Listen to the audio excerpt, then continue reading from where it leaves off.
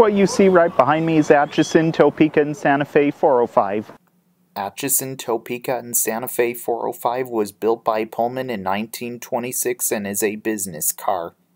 This car was built as one of 18 superintendent cars, and it was even used on the back of passenger trains when used on the Atchison, Topeka, and Santa Fe Railroad and used across the Atchison, Topeka, and Santa Fe system.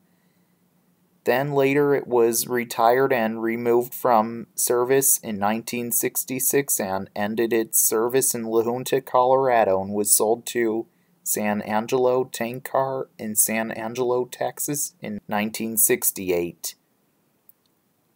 Then it was stored at the Temple Railroad Heritage Museum in Temple, Texas. Then in 2008 it was donated to the Arizona Railway Museum in Chandler, Arizona where it can be seen today. And also it was repainted before 2011 to its Pullman green color as well.